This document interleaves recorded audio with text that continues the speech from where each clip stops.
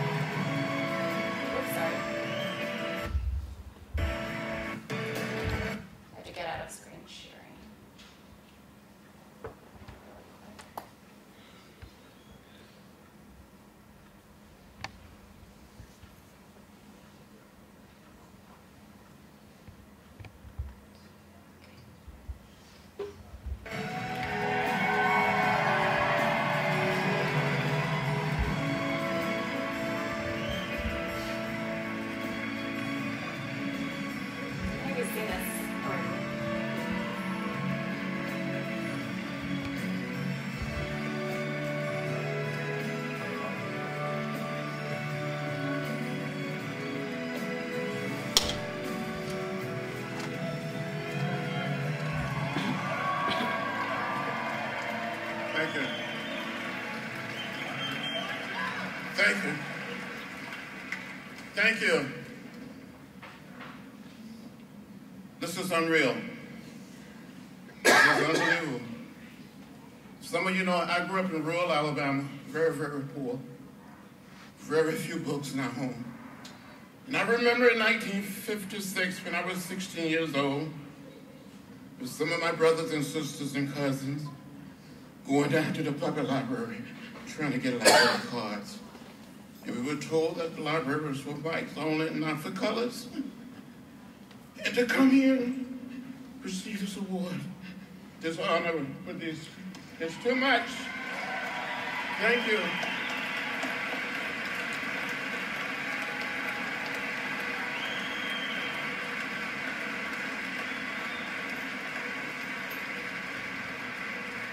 But I had a wonderful teacher in elementary school who told me, read my child, read. And I tried to read everything. I love books. Thank you, Andrew. Thank you, Nate, and thank each and every one of you, and thank all of the judges. Thank you, National Book Foundation. Thank you so much.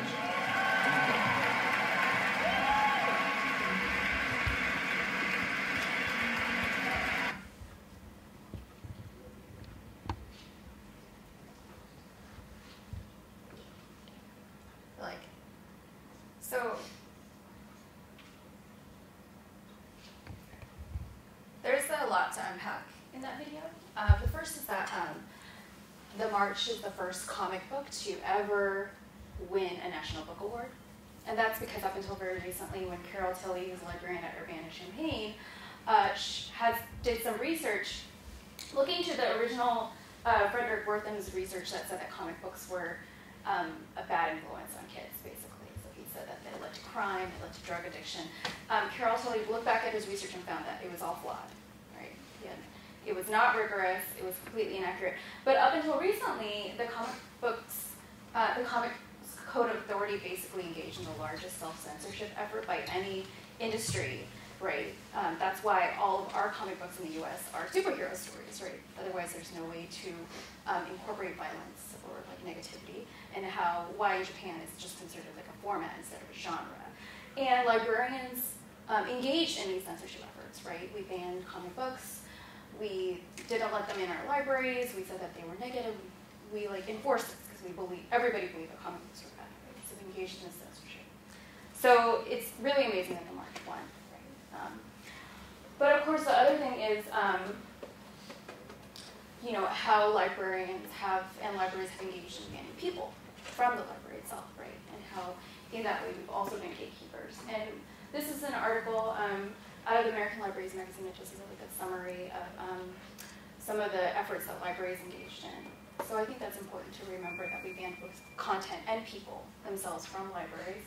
And if you want to know more about that, there have been a couple books um, and Nicole Cooke, who um, also recently wrote a book on cultural competencies for librarians, is, I think, now out with a book on um, the history of some of the initial um, African Americans who went through library school, too, and how difficult that was.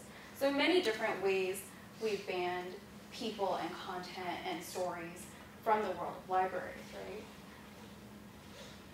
Um, and the same, the same is true for publishing, right? Um, I don't know if any of you are familiar with the Cooperative Children's Book Center at the University of Wisconsin-Madison.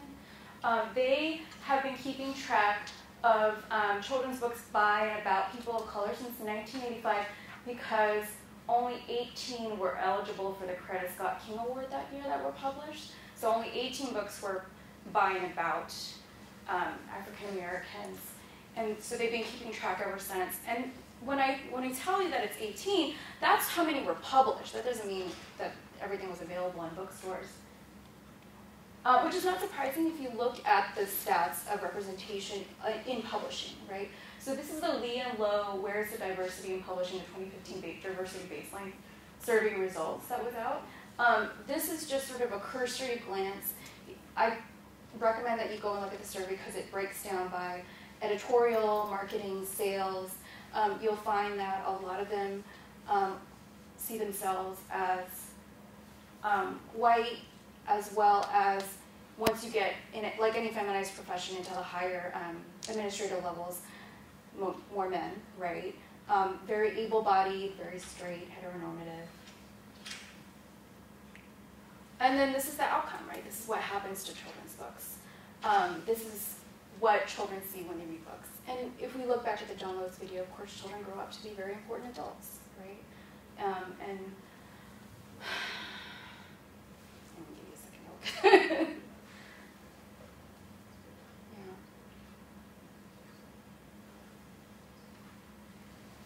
Um, and the same is true for all the publishing professionals, if it's not even worse, right? So this was um, a study that was published in 2016. I actually got this survey because I was, you know, I, I, some people in publishing have passed it to me. They had no category for Asians or Asian Americans in the survey, so I contacted the surveyors and I was like, hey, so from experience, having worked in publishing, I know that there are Asians, you should maybe have a category for them. um, and they said, oh no, we thought it'd be confusing because it's supposed to be an international survey. Um, you're supposed to click mixed or multiple, and I was like, that's probably not, not appropriate. Luckily, they got back to me a few days later and said we had added the category, but yeah, so that's the kind of, that's, that was the perception of the people who were putting out the survey. So this is, I don't think, rigorous. It didn't contact the AUP, even though some press people did um, fill it out. and this is um, faculty in the U.S. This is um, tenured faculty. So it is limited, but I think it's important to look at tenured faculty because when I worked in publishing and I sent out proposals, I did look at the faculty and what their status was and whether they had prestige in the field and had the ability and the knowledge to review something, right? So it's important. Is this as of fifteen? That Yes. was the- Okay, thank you. Yes. Well, no, not of 2015. Sorry, it's it's from the National Center for Education Statistics, and the, I think the latest is 2013. Okay. Yeah, but um, there's not been a lot of change in the last decade. Yeah. Um, and this is library professionals, and you guys are all familiar with the statistic, right? That shouldn't be um, strange to you. And keeping all those stats in mind, the similarity between all of them, um, I want us to consider the publishing process.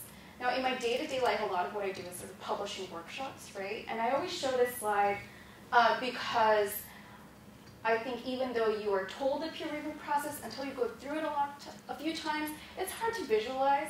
So this chart is really helpful, and I created it, and it's CC BY. Please use it, right? If you want to teach publishing to anybody, because it's important for people to know that at this level, the editors, right, publishing professionals, at this level, your fellow academics, possibly tenured professors, right? Um, and then, you know, librarians who do the purchasing and the selection, right? They all hold power. And the demographics are kind of grim. Also, this slide is helpful because um, it lets people know that the librarians are part of that power, power. A lot of times scholars, they publish and they're like, no, they don't tell us to buy their book to the library, so it's helpful. And there are some outcomes in scholarship, right? In 2017, the American Historical Review um, assigned a book to a, no, a review to a white supremacist, right? So they had to retract and apologize. Um, Hypatia, which is a feminist philosophy journal, um, analogized um, Rachel Dolezal to transgender people. I should say not the journal, but um, an author. So they also retracted um, the paper and apologized. The Journal of Political Philosophy had an issue devoted to Black Lives Matter with no black authors. So they also had to apologize. Um, and Third World Quarterly um, published an article that in in defense of colonialism, um, and 15 of its board members resigned. So three out of four of these, they apologized and retracted. Um, but how, how many stories are there that didn't hit the Chronicle of Education or Inside Higher Ed? Like how many stories are there that we didn't hear about, right? Um, and what does that mean for faculty of color? Because of course publication means promotion and tenure right? I don't know if you can read this, but it says Facebook keeps scrubbing this image of the faculty of color who have left Dartmouth over the past 15 years, right? So it becomes this revolving door of people who can't accomplish promotion and tenure. And for more reasons than publication, the problem is more multi-layered and nuanced than publication. But we all know publication is a big factor in that, right? Why did Facebook scrub that image? What, what I know that's an interesting question, right? I think someone at Dartmouth kept requesting for it to get taken down. That's my opinion. I do not presume to know what their um, algorithm is. Yeah. So, during the wave of student protests a couple years ago, I actually had a couple people ask me who were not in academia, Charlotte, you're in academia, what's happening? Why are these stu- students complaining about the food in cafeterias being microaggressions? And I would say there are 80 schools that have put forth demands. That is not just people complaining about microaggressions. And their number one demand is faculty and staff of color, right? So students notice, right? There is an impact. And you can actually see what their demands are on the demands.org. It's done a good job of collecting everything. And it's not just in the US, right? Um, this is a really great article that was published actually in Nature. And if you go into the article itself, you can click and see the gender breakdowns of publication. Um, you can see here that the US by far has the largest share of published papers. There's a global dominance that happens, right? So there's a kind of hegemony. There is, not kind of, but there is, right? So it's something to consider. And so when I do information literacy classes with students, sometimes I say, what do you notice about these citations? Where are these professors from? They're all from the US, right? Something to consider if we're talking about something like immigration, migration, you know, things that are happening outside of this country. Another thing is, of course, the open access piece, who owns our output. Um, actually, a lot of the big five publishers have done a really aggressive job in acquiring publications and journals and sort of done like this gathering. What do you do? You buy things if you don't have them already. They don't. They didn't have the platforms for open access. Now they do. Over 50% of papers published, period, worldwide, are owned by the big five. Right. So. And they really see themselves as technology providers at this point, right? Elsevier, Wiley, they're all positioning themselves not to just be publishers, but um, but they're buying things. If you look, it says ResearchGate raises 52.6 million for its social research network for scientists, and it makes sense because technologists are coming to this to academia, and academic publishers are moving towards technology in those two ways. And what does that mean when everybody's trying to grab the technology platforms and the intellectual property? What kind of value does it have when we're not getting paid, right? Scholars are not getting paid for their papers. And Google Scholar, we don't think twice about it. I use it all the time, right? I actually, this is like a screenshot from my recommended. It was like Scientometrics is Science Successful Women in Science. Journal Port is an important infrastructure for non-commercial scholarly. I was like, oh, these are things I'm interested in. It knows me really well. yeah, right? But we, we know that Google is not neutral. It's not good. If you're familiar with Safiya Noble's work, and I think she spoke here before, um, she's not, it's not um, it's something we should think twice about. You know what they say, um, if it's free, then the product is you, um, and that continues into ultrametric, altmet, altmetrics, and um, and library discovery systems, which are both be biased, right? Yeah. Recently, I saw a tweet from some conference where it was like a lot of women are discovering they're being trolled online through altmetrics, right? So, women scholars. Yeah, and they never knew. A lot of women scholars are finding out they're being trolled online through altmetrics. So they see a spike in the click, and it turns out they're being trolled. Yeah. But it looks good in their altmetrics because it got a spike, but it's very strange. Yeah. and also, like, who owns our OA spaces? Now, I go to a lot of conferences and conversations about open access, and very frequently there are very few people of color in the room. Um, recently, April Hathcock and I were at the same meeting, and I'm so grateful to her for writing about this because there was an unconference breakout on the Global South, and everybody, every person of color basically like stood up and went to that room. So much so that the main conference was like, should we just make this unconference all about this? And then they went, no, let's talk about this instead. So that like they had like the, all the people of color interested in the global south, and they chose not to make that the main subject of the conference. So we just went into another room and discussed, right? Um, So, and, Lorraine Chuen, who um, works a lot in open access internationally, she's out of Canada, she talks about how being nice is not enough, right? Like how she personally is experiencing negative ex- negative experiences um, in the open access world, right? And she's very well known. And lastly, I had mentioned previously, like how technology platforms are being purchased. Um, that includes open access platforms. You all know that bepress was acquired this year. That is only the last in a string. Um, society journals, um, journals that are in Hindawi or SciELO or um, Versita, they've all been acquired over the last 10 years. This has been part of the strategy.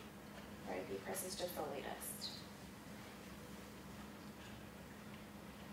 So as I talk to you all about these dire things in open access and what threatens it and what, what threatens what is truly access, um, I want to encourage us to reach further, right? Um, this is a keynote from the Society of American Archivists.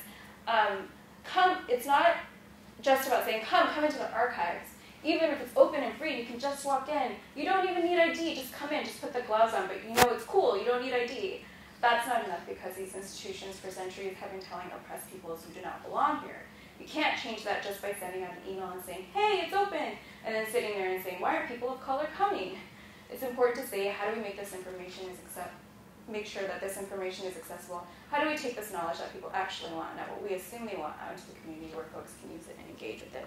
So I want to say that, you know, as we make things open access, it's really important that we don't just reinforce what is institutionally in place. Institutions can be good, but also they have their problems, right? Um, we, we as librarians, as libraries, are institutions, and we have the same biases and injustices that institutions have, right? And in that way, while we try to make things open access, we have to think about what we are reproducing in our systems. And this idea of vocational awe is from Fobazi which I think is really fantastic. It's something I've, I've encountered in publishing too. When I worked in publishing, there was this sense that we were doing good in the world, right?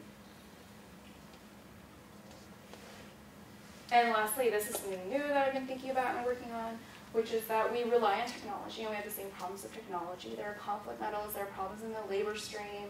Um, I live in Silicon Valley pretty much, so I can tell you that they're not thinking about these kinds of things on, a, on the scale that they should be. And I want to say that I, the ALA Sustainability Roundtable just put forth a statement, and I can see in the future students and institutions asking to divest from conflict metals and e-waste the way that we changed people's opinions on investment in oil and prison systems. So that's something I'd like to see in the future.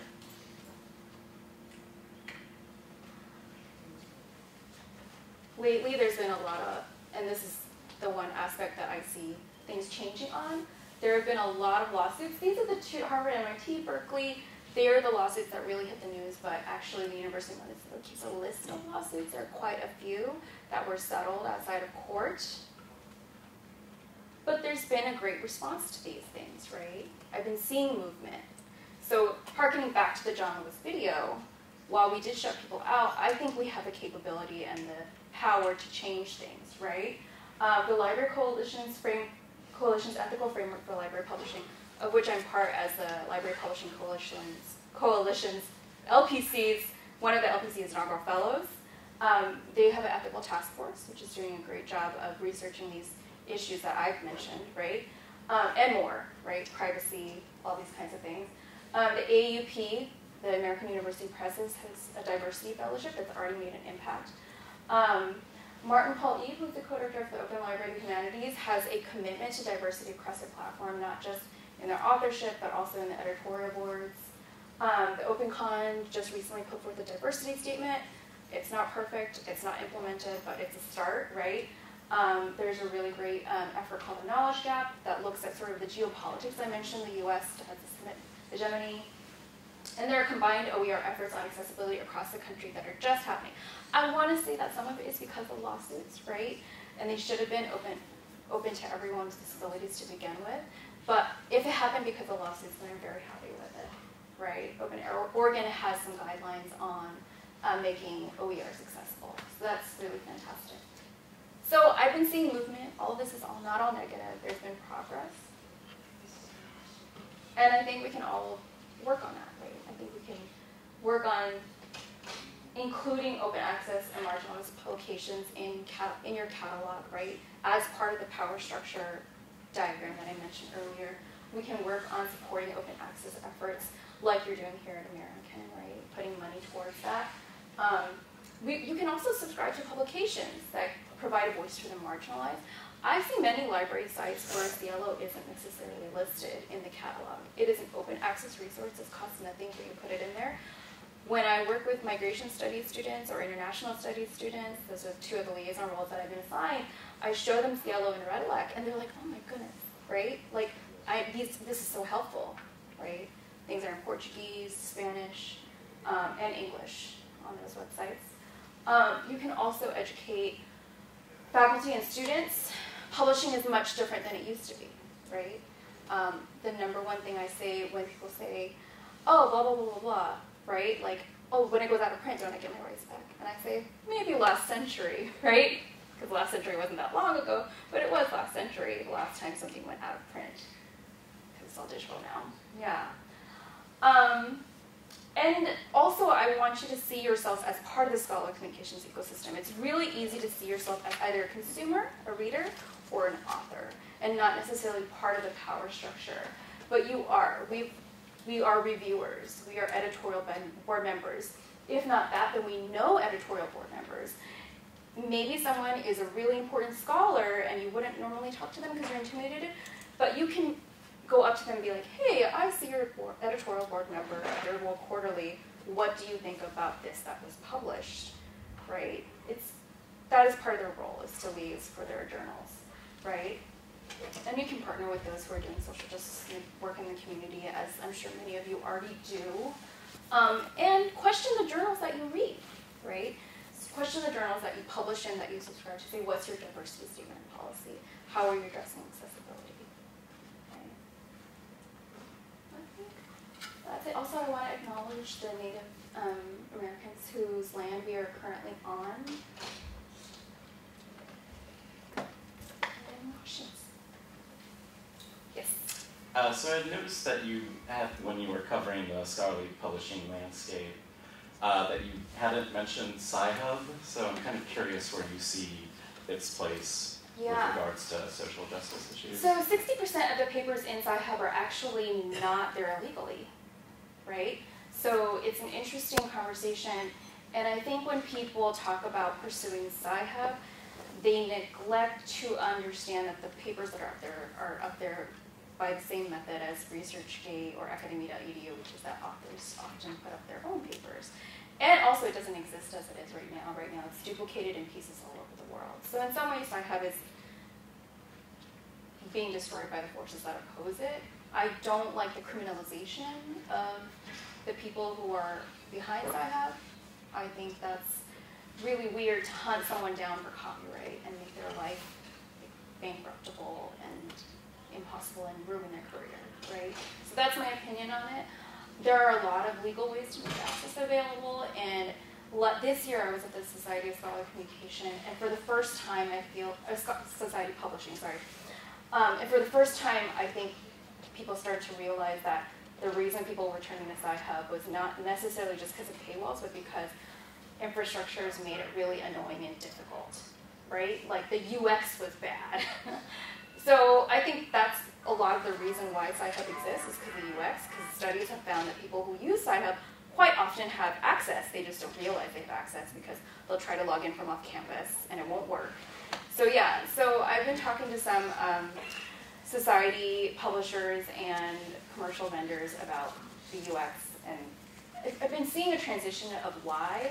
I haven't been seeing a change in the way Sci-Hub and the people who are behind it are being criminalized, so that I, just, I don't approve it for the same reason Aaron Swartz, like I don't approve of him being criminalized in Shadestown either. The same thing is happening, right? So that's my opinion. So, yeah.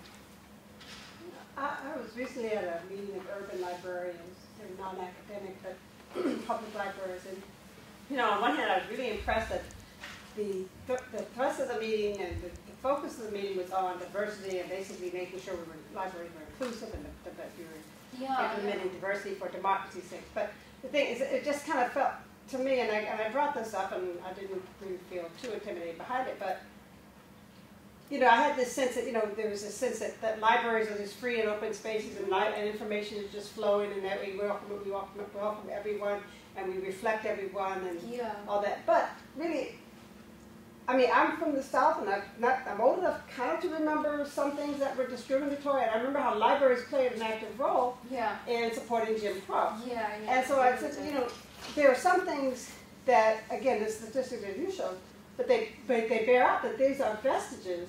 You know, even though we're being intentional or trying to be more intentional about being uh, open to different parties being involved in the academic processes and academic information and knowledge sharing, there's still some things that are obviously Yeah. remnants and vestiges of Yeah. a very, very different scenario Mhm. that is still carried on. So I mean, that's the kind of thing that you know, that intentionalism needs to really be bumped up. And I think once the, the points that you make there are ways that you can actively Yeah. reverse Yeah. these. these I I think the ideals of librarianship are great. The Mhm. idea that we are a neutral space, the idea that we're open to everyone, that we're inclusive with everyone, I think those ideals are amazing. And I think we hit as close as we can being the people we are in this era, but we can always do better, right? Of course. Um, and this actually, um, Tressie McMillan Cottom, who wrote the book Lower Ed, she says in her book, um, for me, perpetuating inequalities resulting from intergenerational cumulative disadvantage doesn't require intent. In fact, racism and sexism work best of all when intent is not prerequisite, right? So basically, she's saying like, bias works best when we don't care, right? All we have to do is go along with the structures that are already in place, and that's how we get to a racist, sexist sort of um, outcome, right? So yeah, and I think that what libraries do quite frequently because of our ideals is push back against that, and that's why like what I have to say this presentation has done really well amongst librarians. So I'm really happy, and I've been seeing a shift in how people are addressing these issues over the last few years in a way that I didn't when I worked in publishing. So that's great. Um, the Leah Lowe survey has done a lot to push publishers in sort of direction, right? It was embarrassing for publishers, even though they had actually been reporting on the same statistics every year in Publishers Weekly. There are articles in Publishers Weekly that say like publishing is still white, right? But the Lee and Low survey really quantified it, and it was really actually a librarian, Sarah Dolan Park, who worked on it. So she's at the University of. No, she's at St.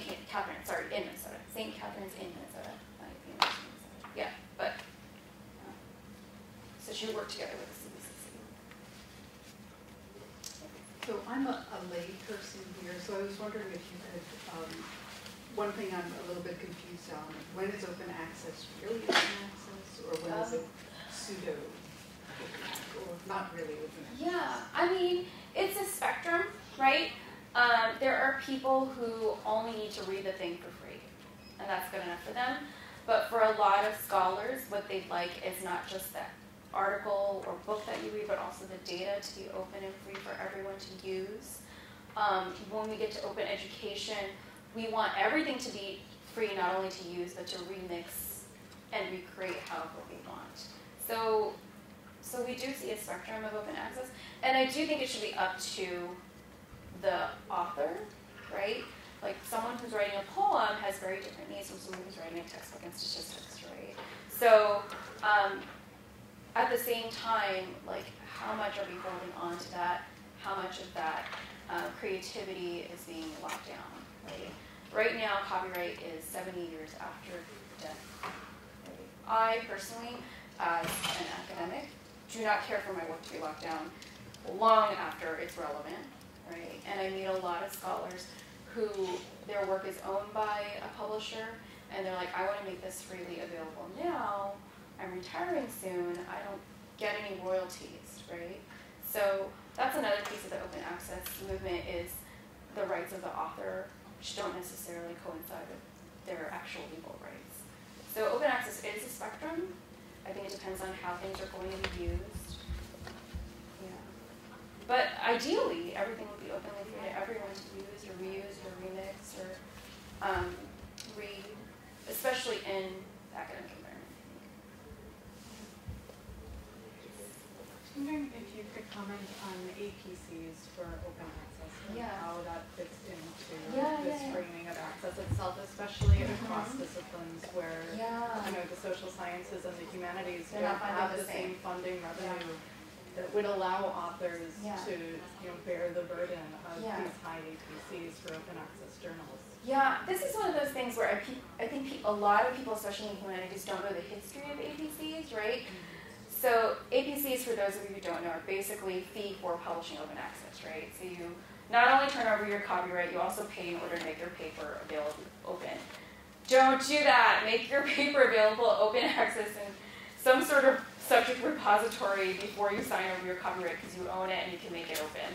Um, but uh, APCs existed before the open access movement, right? In a lot of STEM fields, it was traditional to pay anyway. You paid per page, so it was print. You paid per table or graph or chart. You paid extra if you wanted them in color, right? And PLOS basically took the existing model and put it on top of the open access platform. They were like, sure, we'll just have people pay what they normally pay, what the market bears, and then make everything available open access, right? So right now, the cost of APCs is not determined on what it takes to publish. It's determined on what the market can bear. They are basically two income streams, right? Extra. So people don't understand that, that either, right? That's why some places that don't have APCs, they're still able to them, right? So for those of you who are running into APCs that your scholars can't pay or you can't pay, negotiate. Tell them you don't have any grant funding, right? Um, and see what they say because it's what the market can bear. And if you were the market who is paying, then you should be able to negotiate. Some people are told, oh, you need to you need to partner with someone in the West, which I think is someone in the West who has like money, basically. Because of course this is like some a basically a different kind of paywall, right? People whose salary, monthly salary or yearly salary is equal to the APCs are told like, oh, you should partner with someone in the West.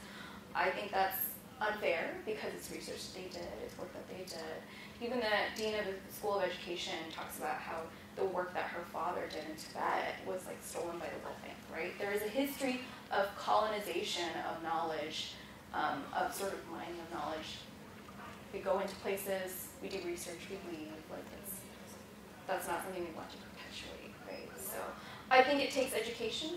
Um, and also, one of the wonderful things about the open access movement is that it's put the tools of publishing into people's hands, right? Everyone says the Gutenberg Press is so great, but I don't think it would have been that great without the invention of paper, right? Like, everyone says open access is so great. It's great because the technology has enabled people to, like, throw something up online. And that's the case with, like, Redalyc and SciELO and Hindawi and even, like, local places write reports that maybe are not IRB approved, but are important to the people in the area and just throw it online right? It's important to those people. It's important that we don't say like this isn't rigorous. We have to look at the context. Yeah. It's like a subtle to get deep. Appeal. I don't say the name, but yeah. yeah. So u- upending the peer review process as well Yeah. is um, Yes. one of the approaches to this. I think so. I mean, definitely because of the diagram I showed about like power and what those people are, and like those examples of where peer review has gone horribly wrong. Like World Quarterly got a lot of attention, and it turned out like that in that article. I don't know if all of you know, but that article in Defense of Colonialism didn't pass peer review. Nobody, everybody was like, it shouldn't be published, and the editor, yeah, yeah. the editor decided to publish it anyway. So it's total breakdown of the process, right? And whoever the peer reviewers were for the Rachel Dolezal article and like the um, a few of the, the they weren't correctly chosen, they weren't correctly done. So there's been arguments for transparency in peer review. Um, some people are scared. They don't want their reviews. They feel like people will be honest, totally valid. Um, I think one of the things I've been arguing for is cultural competency for editorial and reviewers. Yeah. But also, it's another form of labor that isn't being paid, so it's hard to ask for more from people. Yeah. It's complicated, but yeah, definitely the peer review system is problematic. Double blind doesn't always mean quality. I talked to someone who was trying to put together a philosophy journal, and they were trying to bypass some of the problems around bias, especially sexism, because philosophy has a very bad reputation when it comes to sexism. And they said we did a double-blind peer review process, and we ended up with the same sort of papers that you would find in any philosophy journal. Mm-hmm. So I was like, bypass it. Just do invited papers for the first couple issues, right? Just do it. It's fine, right? It's fine if you do that, especially for the people that you want to hear from.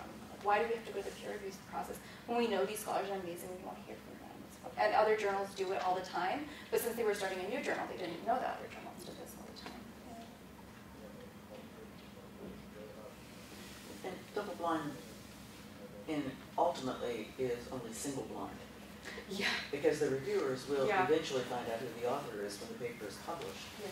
The author will not necessarily be able to find out who the reviewers were. Yeah, and it's not truly blind because the editors see everything. It's kind of like, um, you know how in orchestras they started getting people to rehearse behind a screen, or audition behind a screen? Do you know about this? And a lot of major orchestras, um, they were very male dominated. So they started um, having people audition behind a screen, and lo and behold, more women advanced to the advanced past the first round. I know, right? Then it was a 50-50 split. Um, so now that's why you see more women in orchestra. It's not better. That's just the first round, and then after that, it's the same process. But like we put up the screen and we say it's peer review, but it doesn't help if the people who are placing the screen, like the editors, are actually the final decision makers. So.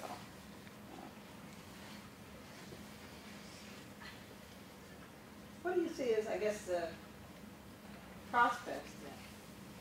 I mean, if you're looking at these trends of Mhm. increased diversity within publishing houses, journal, editorial board, is, do you see that trend basically dipping more, pla- plateauing more, as with the rise of open access? I mean, I'm just asking for your opinion about what, how do you see, do you see, again, do you see that, again, like you use that Yeah. screen thing?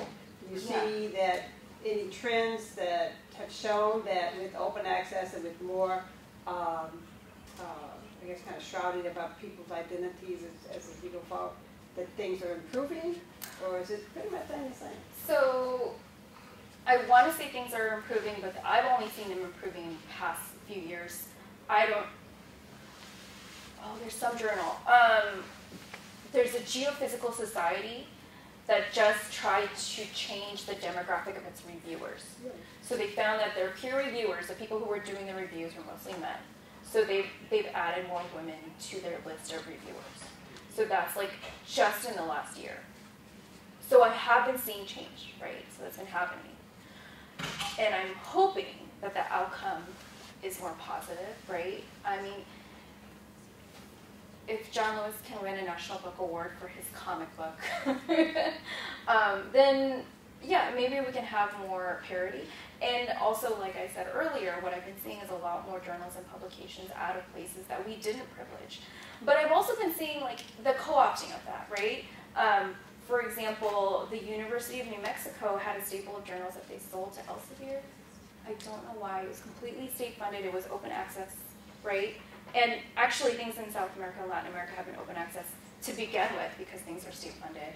Um, it was, a, I think, it was a bad idea, right? And every and scholars at the University of New Mexico were unhappy at it. But I can see the argument, right? I can see Elsevier saying, "We're going to pay you a ton of money and we're going to run it for you."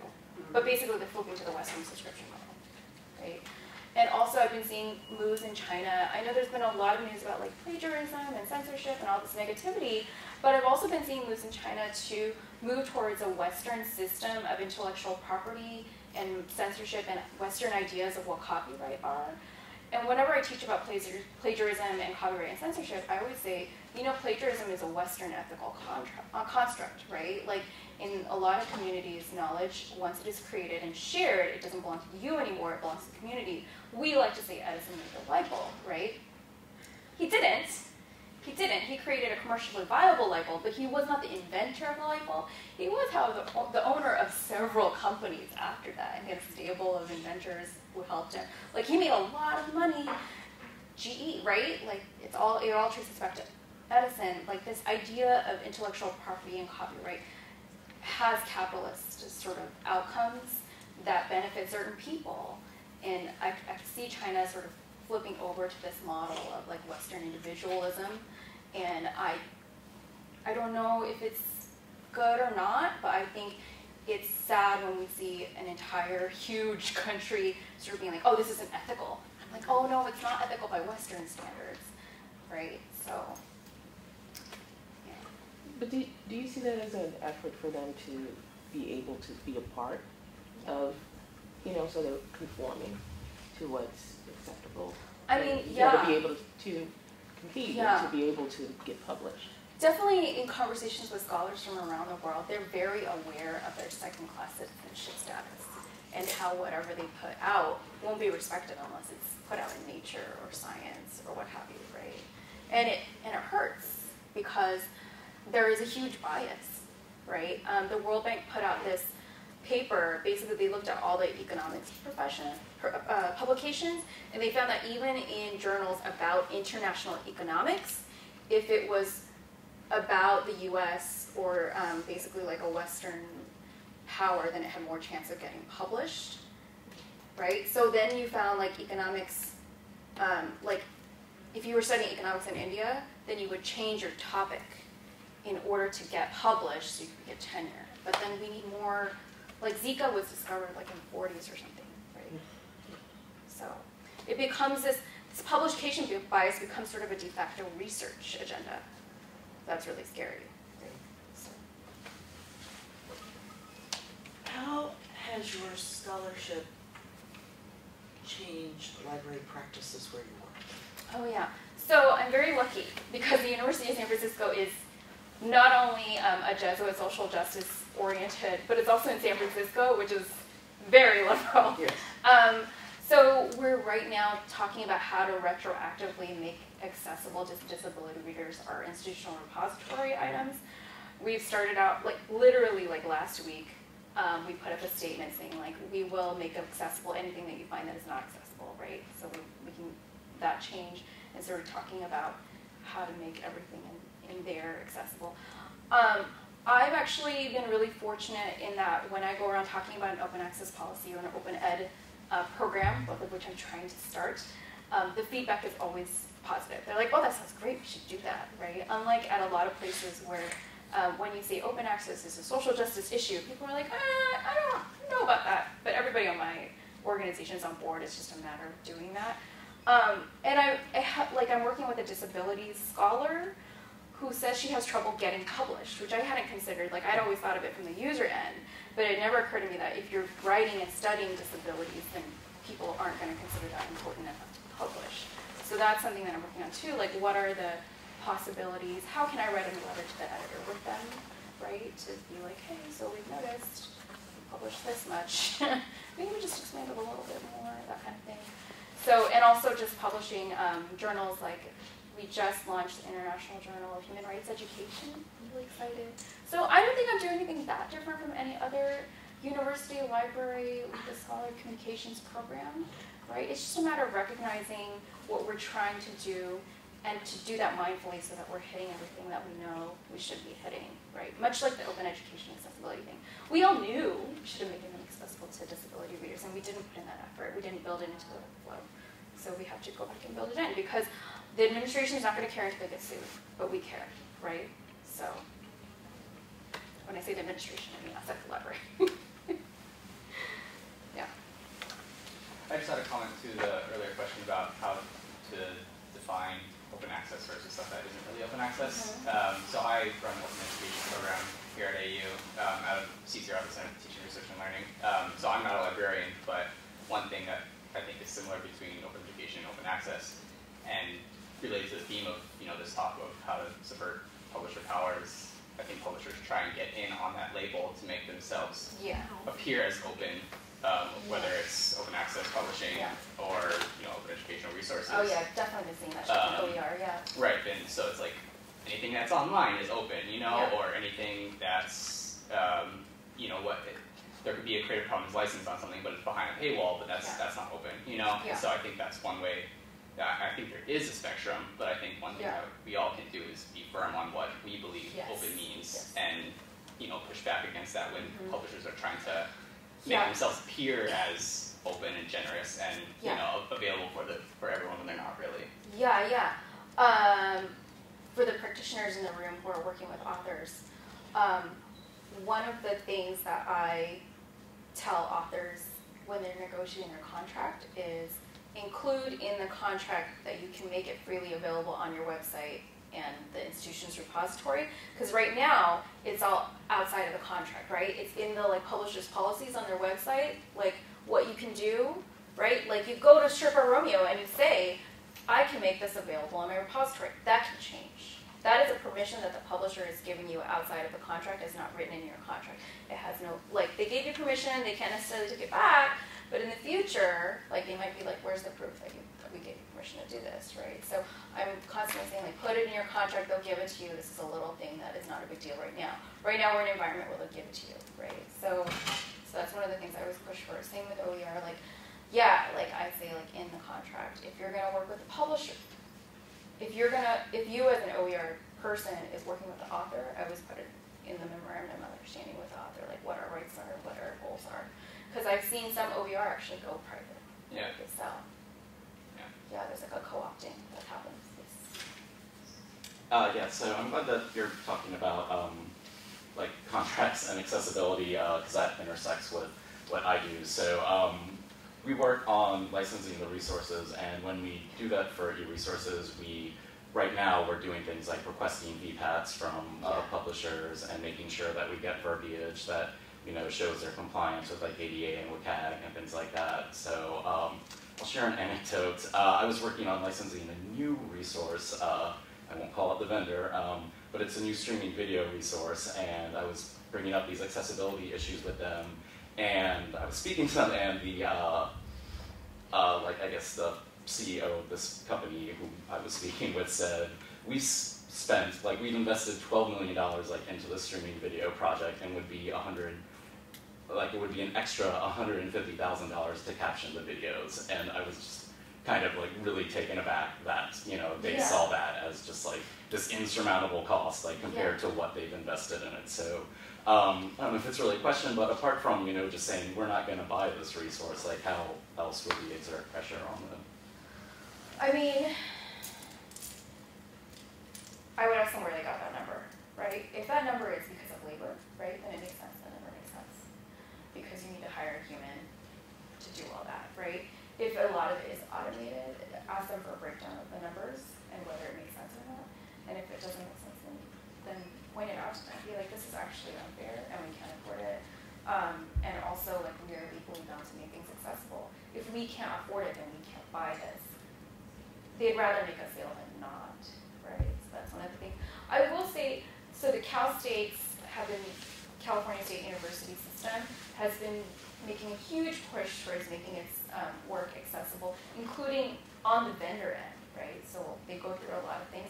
So they have a list of vendors that they're either put out already or have, ha, are going to put out that um, basically are approved for making their things truly accessible. It's always nice to have an example like that to point to. Be like, look, this is going to be the norm. It's not an extra. You better get on board and get all your things, and then you can actually push it as like a selling point. Like all your things are accessible by default. So changing the framework because the framework is changing, right? Yeah, be like, hey, I know you're charging, you're not going to sell it to anybody this way, right? Like, this is becoming part of legislation. It is of legislation. Yeah, I just want to tail end on that, another issue, is I work in the federal government, and so I acquire resources. Federal government, you're required to be accessible. So um, I work with a contractor that produces content for my site, and one of the issues is that they are fully compliant. They make sure everything is compliant. They check all the boxes. Every uh, requirement is met, but there isn't a focus on the experience of the user. And so that's where the issue comes in, because they made a compliant PDF for me. And my expert, which we keep on the side to check these folks, was like, yes, this is beautiful. It's great for sighted users, but it's not really useful to a non-sighted user, Yeah. even though it checks off every box. It's fully compliant. Yeah. And so we constantly have to fight for the for what a non-sighted user Yeah. that experience. So you can still be fully compliant, but you're still not meeting the needs of that user. And it takes extra effort and resources. Yeah. It does. Yeah. Yeah.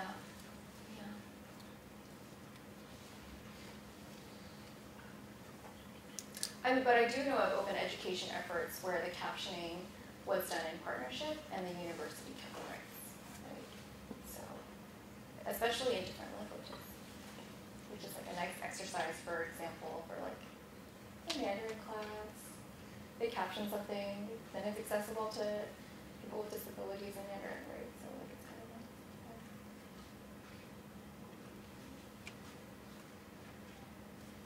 Yeah. Thank you very much.